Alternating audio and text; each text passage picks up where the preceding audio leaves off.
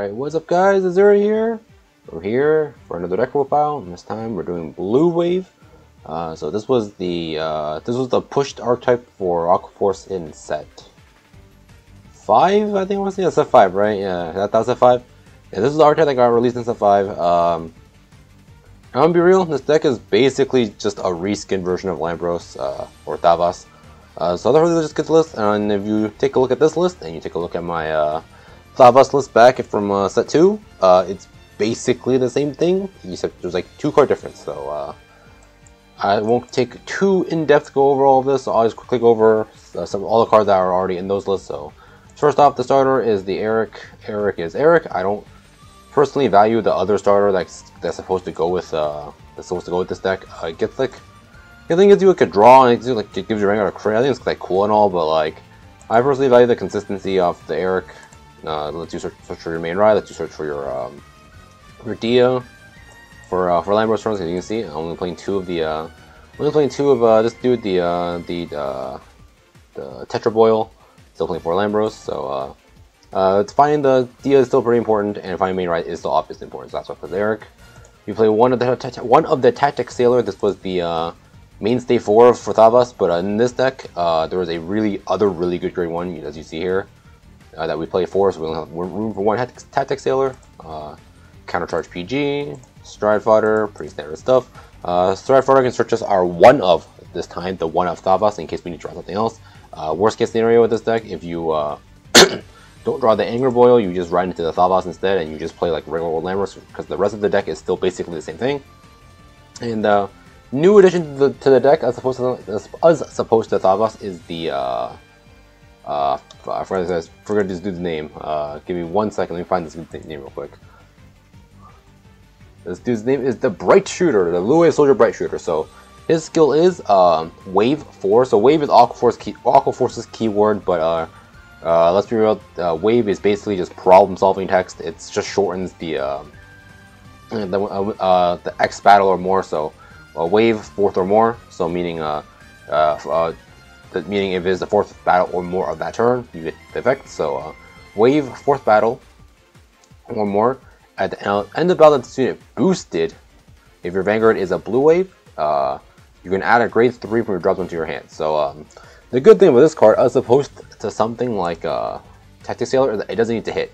Uh, and it grabs a very, a it's a selective plus one, meaning uh, you can grab back your, at worst, Stride Fodder, but uh, but in most situations you back a Dia, meaning that if your opponent even they kill off a you can just grab one back. It's really good.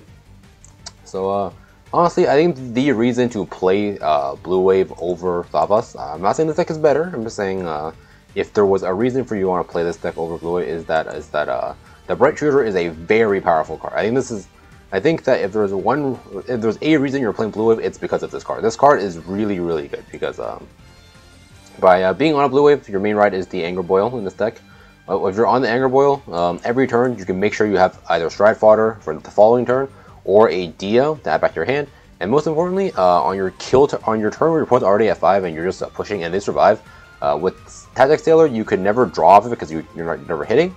But with this card, um, even if they survive, as long as you boost it and it's 4th out or more, you get to add cards back to your hand to uh, for a fallout for next turn, which is really powerful. So, and uh, if, there's, if, there's, a reason to play this deck, it's because of the uh, Bright Shooter. And the grade 2s, it's all the same thing from Thavas, 4 Basil, um, not you. 4 Basil, you're a swapper. Uh, one Valeria, just like a fifth Algos kind of. Uh, speaking of Algos, four Algos.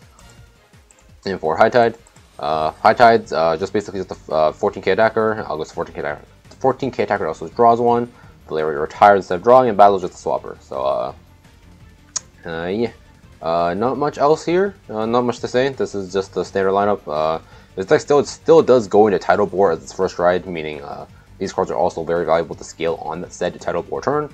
So I don't really see a reason to play the other cards that are supposed that uh, they pushed to be here. The the other card that it's um, they probably wanted you to play with the Foy Boss. The uh, his skill would be the third would be rear circle third third wave only when this unit attacks the Vanguard. If your Vanguard is the blue wave, CV1 plus 2k in standard. So it's like a it's like a Tidal Assault but better for this deck. But uh, I personally just do not value the Foy Boss very much, so I personally choose to not play it at all in my list.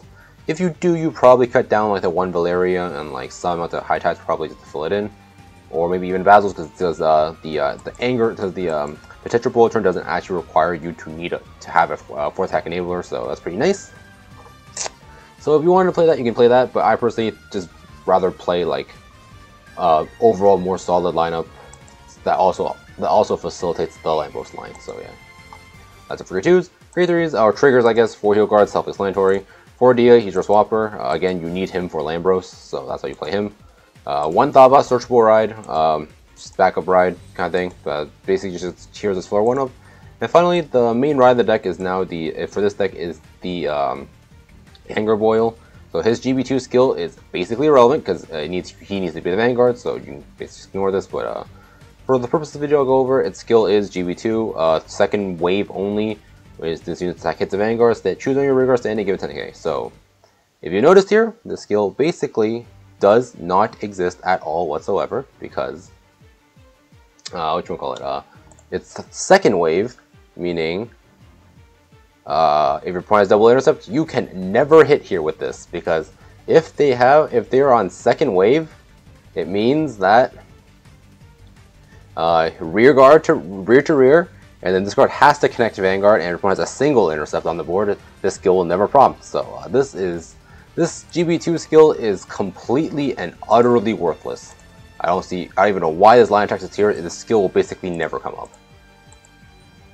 And it's on so your opponent will have to be at 4 for this. So the only situation, situation where this would ever work is your opponent's at 4, they have exactly one intercept, you swing the intercept into the rear, and you go Vanguard first. That's the only situation, situation where this would ever come up, but at that point you might as well just try into something else instead. So, uh, yeah, uh, useless GB2 skill, but its other skill is very useful on for specifically the uh, Tetra Boil turn. So uh, the, the second skill is when your Tetra Boil, the the GR stride that that, that uh, is in, in Arctic with this card, goes on top of it when you shard it. Your Vanguard gets the following ability, second wave only, when the student attacks the Vanguard, choose two rears and stand them. And you might wonder, you might ask yourself, if its GB2 skill is useless, how, why is this skill useful? Uh, that's because the GR actually has a skill that lets this uh, this portion of the skill function. So we'll go over that right now. So that's it for the raid 3, so for the triggers. And finally, the new addition is the Tetra the Tetra Boil. So its skill is uh, wave uh, exact uh, wave two uh, when the student attacks, it can attack ignoring intercept. So uh, because it can ignore intercept, it can actually connect with its uh, with the uh, with the skill that the that the anger boil uh, gives to the tetra boil, and you uh, you can actually stand something. So uh, there's that, and then the other skill is GB2 uh, waves one through three. So I, first, second, or third wave. When the student attacks the Vanguard, you have a blue wave heart, CB1, G flip, so you need two copies of the card to make this card work uh, to get neg 1 drive and the following ability to end turn. Fourth battle only at the end of at the, um, at, at the end of battle that your rear guard attack the Vanguard. Discard a card and stand this unit and draw a card. So how the usual play for this works is you swing like a column or just a, a, a card into the an intercept. Uh, you are now on second wave. So now uh, the Tetra Boil can swing a Vanguard, ignoring intercept. That's uh, second wave, and then since it is uh, since second wave is waves first two first through three, or uh, one, two, one through three, uh, your second skill prompts, giving you the ability to pay cost to gain the skill to uh, restand on fourth wave.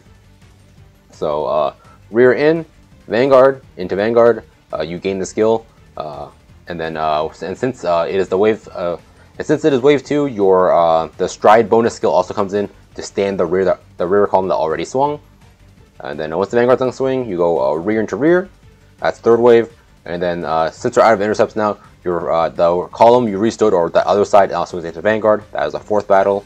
And since it is the fourth battle, exactly, your Vanguard can now choose to pay cost to restand. So that's how the usual turn goes. It's usually rear to rear, Vanguard to Vanguard, stand the rear column, rear to rear, rear to Vanguard, Vanguard stands, Vanguard to Vanguard. This usually is the uh, usual combo of how uh, uh, the Tetra Boil works. And then next off for Lambros, Lambros is Lambros. This card's still the best ride in Aquaforce.